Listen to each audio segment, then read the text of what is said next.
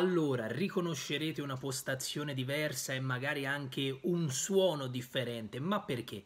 In questi giorni sono venuto a casa della mia ragazza per trascorrere qualche giorno insieme a lei, non portandomi dietro videocamera né tantomeno microfono, pensando che non avrei dovuto registrare alcun video, visto che le recensioni eh, le ho già girate la scorsa settimana e stanno uscendo tranquillamente su YouTube quotidianamente perché sono in programma. Ma si sa, esco di casa e c'è il terremoto in casa di sì. Mi sembra di essere tornato a quella volta in cui mi trovavo in macchina e annunciarono il ritorno di Spider-Man nell'MCU e quindi feci un video, ricorderete, a camicia mezza aperta con la mia reazione fulminante, piena di gioia. Stavolta invece, ma c'è un po' di titubanza. Per chi non lo sapesse, è notizia di qualche giorno fa, seppur non ancora ufficiale, perché di rumor si sta parlando, però un rumor sganciato da The Hollywood Reporter, una delle testate più importanti ma soprattutto serie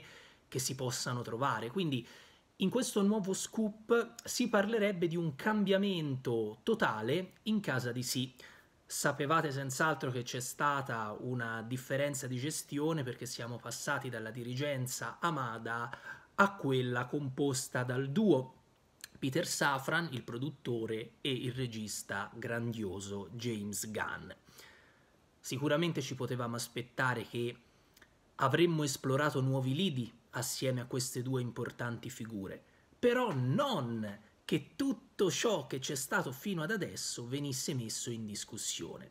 Saprete benissimo che io sono sempre stato un estimatore del DC Extended Universe, chi mi segue su YouTube beh, avrà visto le mie recensioni. L'operato di Snyder l'ho apprezzato, eh, ho finalmente visto la Snyder Cut dopo anni in cui c'era questa voglia da parte degli estimatori di portare avanti la propria battaglia su Twitter a suon di hashtag. Solo che cosa è successo? Sarà che c'è stato un cambiamento in casa di sì con la dirigenza, però questo scoop, questo scoop rivela che innanzitutto si potrebbe andare incontro ad una tabula rasa totale, perché Wonder Woman 3 è stato cancellato dai piani. Quindi il futuro film sull'Amazzone interpretata da Gal Gadot, sempre diretto da Patty Jenkins, dovrebbe aver ricevuto il semaforo rosso, quindi si deve fermare. È stata consegnata la sceneggiatura a Safran e a James Gunn, però entrambi non hanno detto che fosse brutta o altro, semplicemente hanno risposto non fa parte dei piani che abbiamo immaginato per il futuro di questo franchise.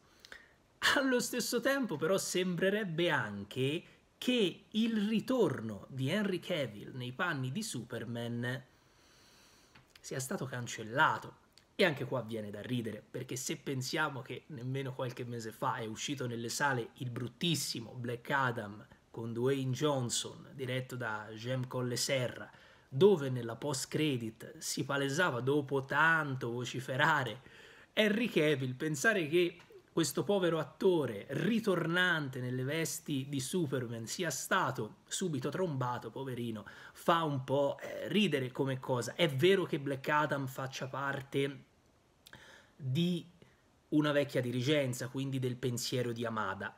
Però nemmeno a farla apposta esce quel film in cui Dwayne Johnson, perché poi The Rock, che io adoro, che io rispetto, si è un po' comportato come il bambino che fa la voce grossa, che si sente superiore fino a che non arriva il babbo a dargli una pedata in culo e a rimetterla a sedere, perché praticamente la, la faccenda è stata questa, è arrivato e, e, con potenza, no? Ha detto il futuro del DC Extended Universe sarà totalmente eh, rinnovato, ma nel senso che rivedrete Henry Cavill che tanto avete desiderato e ci sarà lo scontro con Black Adam e piripì e piripà e alla fine ha fatto la voce grossa. Però James Gunn in un battito di ciglia insieme a Peter Safran l'hanno subito rimesso a sedere e a me viene da ridere perché come vi stavo dicendo io ho apprezzato l'operato di Snyder mi è piaciuto il primo Wonder Woman e addirittura il tanto criticato secondo. Avrei veramente voluto vedere il terzo capitolo, così come mi sarebbe piaciuta una continuazione dello Snyderverse. Però faccio un attimo mente locale, rifletto e dico: avrebbe senso? No, perché posso essere un estimatore, un fan quanto voglio, ma i risultati parlano chiaro. Già Black Adam è stato un flop colossale. Il film che dovrebbe rilanciare Henry Cavill come Superman è stato un flop totale. Per di più sappiamo ciò che c'è stato prima. I malcontenti per Batman v Superman, i malcontenti per Wonder Woman 1984, tutti i problemi relativi all'universo anche per quanto riguarda la realizzazione di certe pellicole. The Flash, io penso che quel film lì abbia avuto più modifiche, non saprei nemmeno io quante, che una macchina ai prossimi mondiali di, di, di, di rally, cioè veramente è un film che è partito da un'idea, si è sviluppato in altro modo, ad un certo punto avrebbe dovuto presentare un altro personaggio ritornante, cioè il Batman di Michael Keaton, però poi c'è anche il Batman di Ben Affleck, allo stesso tempo si ritoglie il Batman di Michael Keaton, resta il, il Batman di Ben Affleck, ma adesso sembrerebbe, sempre grazie allo scoop di Hollywood Reporter, che siano state cancellate tutte le scene girate con Batman di Ben Affleck e ovviamente che siano stati eliminati tutti quei momenti in cui sarebbe dovuto comparire Henry Cavill che ha fatto in tempo a rimettersi il vestito per un'ultima volta proprio per non fargli prendere polvere, però cioè è il mostro di Frankenstein, eh, The Flash di Andy Muschietti. Per di più, allo stesso tempo sappiamo quindi che questo reset totale che dovrebbe esserci non andrà però a compromettere quelle pellicole che ormai sono finite e dovranno uscire. Da un lato ci si può aspettare di tutto, eh, perché pensate al film su Batgirl, già pronto da completare in fase di post-produzione, poi pum pum pum cancellato, altro film dove sarebbe dovuto comparire il Batman di Keaton.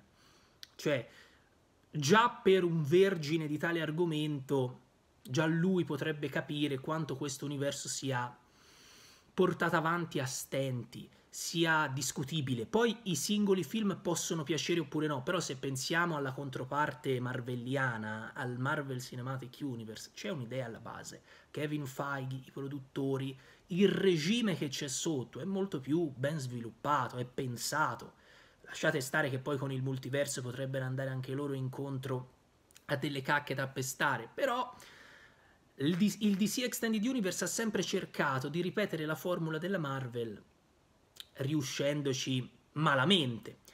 Quindi io, che in primis apprezzo tante cose, gradirei un reset. Mi farebbe certamente dispiacere perché non rivedere più Wonder Woman, non rivedere più il Batman di Affleck a cui avrebbero potuto finalmente dare dignità con una conclusione anche delle storie iniziate, eh, pensare di non rivedere più la Harley Quinn di Margot Robbie, seppur abbia detestato Birds of Prey, non mi sia piaciuto per niente, ma allo stesso tempo ho amato The Suicide Squad dello stesso James Gunn.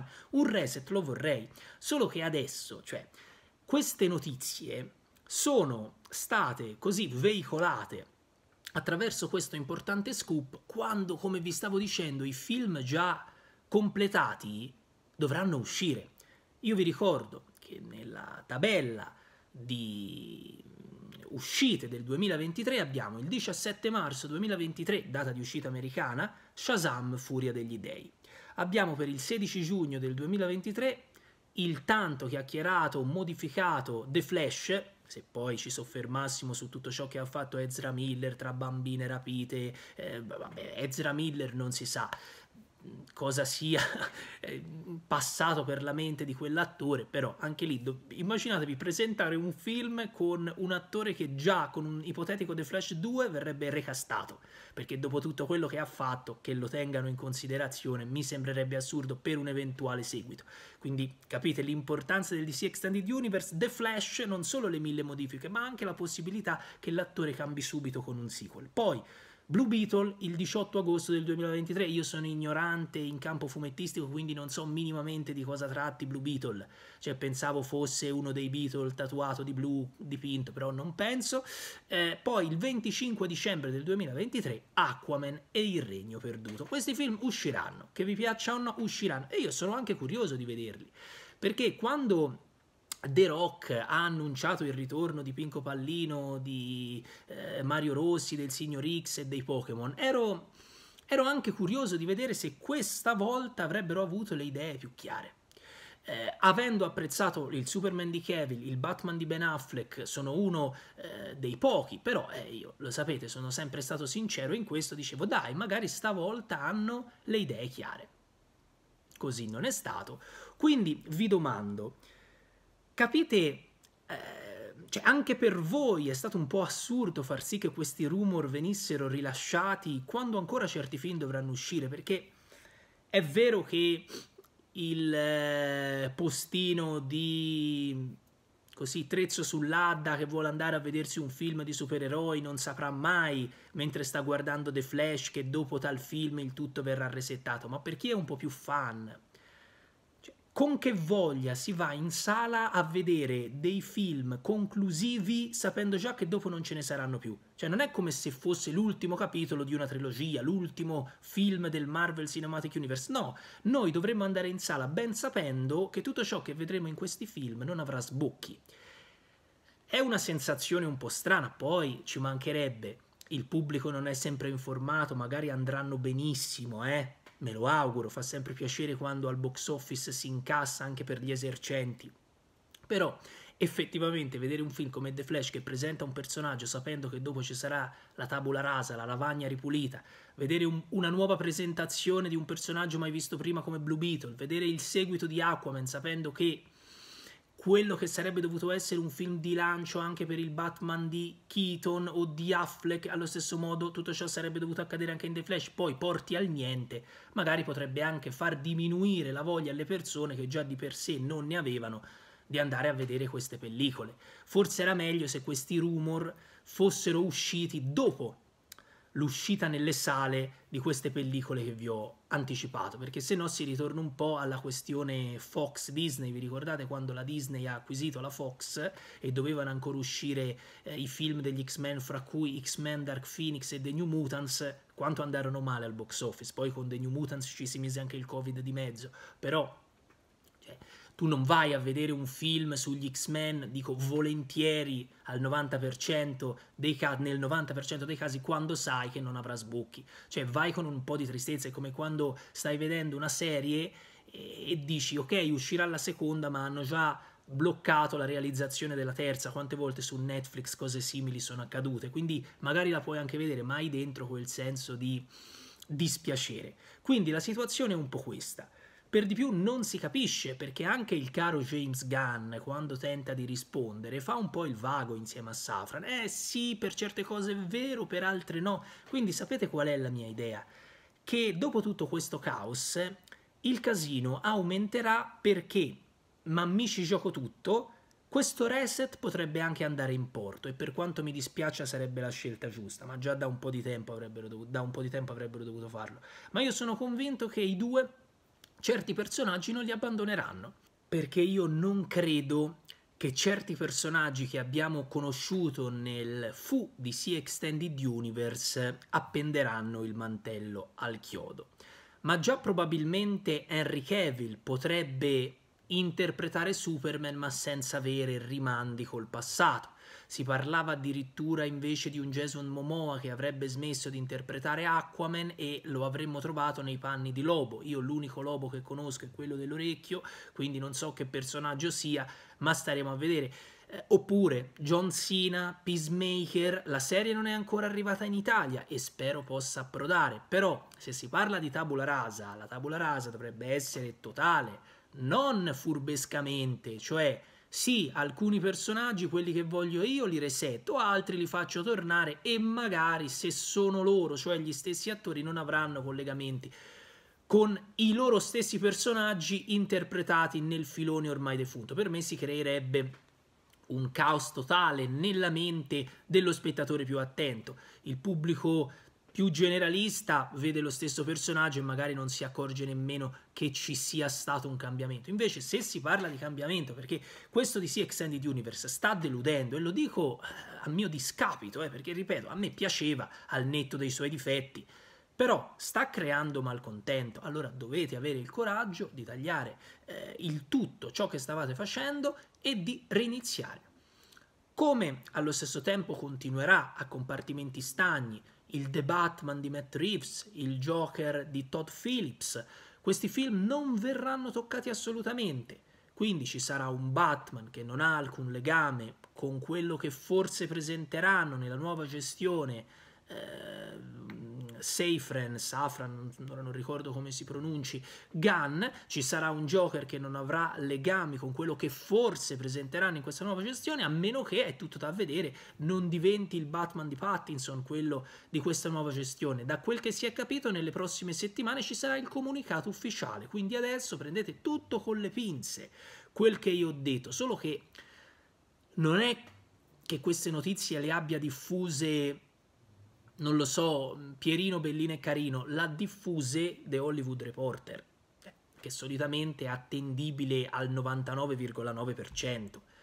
Poi ci si poteva anche immaginare che una nuova dirigenza avrebbe apportato delle modifiche. È che mi fa un po' ridere non vorrei essere nei panni della Warner nel distribuire, nel produrre, nel pompare, nel, nel, cercare di pubblicizzare pellicole come Shazam 2, The Flash, Blue Beetle e Aquaman 2 perché cioè, lo fate ma con la consapevolezza che ciao belli quindi voi cosa ne pensate? perché di certo non c'è nulla però mh, la vicinanza alle ipotesi che vi ho appena descritto sì al 100% mi fa un po'. ormai ci resta solo che ridere perché do dobbiamo dispiacerci. Io non condivido nemmeno quelli che con i forconi no, vogliamo lo Snyderverse, vogliamo lo. Anch'io lo volevo, però abbaiano anche i cani e lascio tutto perché questo mi fa capire che bisogna smettere. Cioè, era per dire che ormai anche i cani abbaiano perché vogliono dire la propria, ma a un certo punto, che siate fan di Snyder, che siate fan di Batman, di Terra 1, Terra 2, Terra 100 o di qualsiasi incarnazione del personaggio, è giusto che quando un universo floppa si vada avanti, si volti pagina. E Black Adam è stata l'ennesima batosta in faccia, l'ennesimo cazzotto nel muso, The Rock sembrava una cassapanca coi vestiti, io adesso vi saluto, vi ringrazio per avermi seguito, vi, vi, vi chiedo scusa se l'audio non, non, è stato dei migliori, ma ripeto non avevo portato con me il microfono,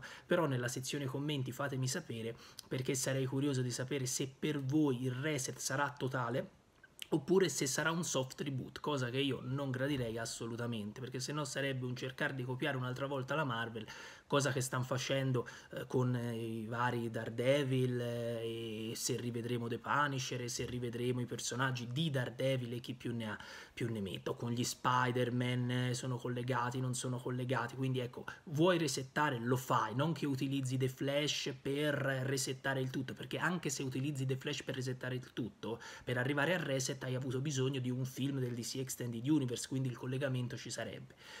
Sono curioso, non ci resta che attendere, non ci resta che vedere, però fatemi sapere la vostra. Mi dispiace tanto per Superman di Kevin, per il Batman di Affleck, ma vabbè, è così e giustamente bisogna dare a Cesare quel che è di Cesare. Ciao ciao!